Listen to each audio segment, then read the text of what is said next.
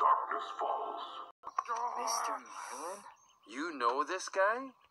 He was the school's magic teacher until he had his nervous breakdown. Uh, technically, I was merely a victim of a level 3 fatigue, and at the request of my therapist and the school authorities, I've retired to the tranquility of nature to discover my divine purpose. Now, can I interest anyone in a snack or beverage? What we need are directions back to far, far away. What's with the we? Who said I was going with you? Oh, I did. Because there's a lot of people counting on you, so don't try and weasel out of it. If it's such a great job, why don't you do it?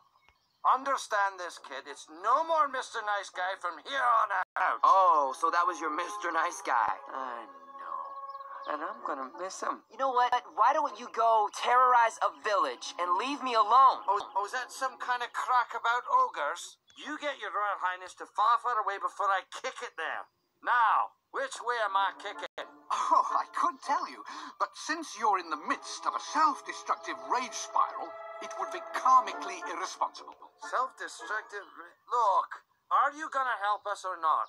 Most definitely, but only after you take the journey to your soul. Yeah, I don't think so. Everyone and everything you know will die. I will shepherd you to safety, lest you suffer the same fate. By force, if necessary. All right, all right. Journey to the soul. Five hours later. Now, all of you, look into the fire of truth and tell me what you see. Ha!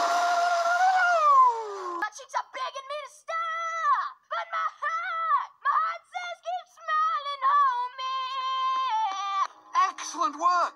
Now the boy. Okay. There's a baby bird and a father bird sitting in a nest. Yes, yes, yes. Stay with it. Stay with it. Wait, the dad just flew away. Why did he leave the little bird all alone? It's, it's, it's trying to fly, but it, but it doesn't know how to.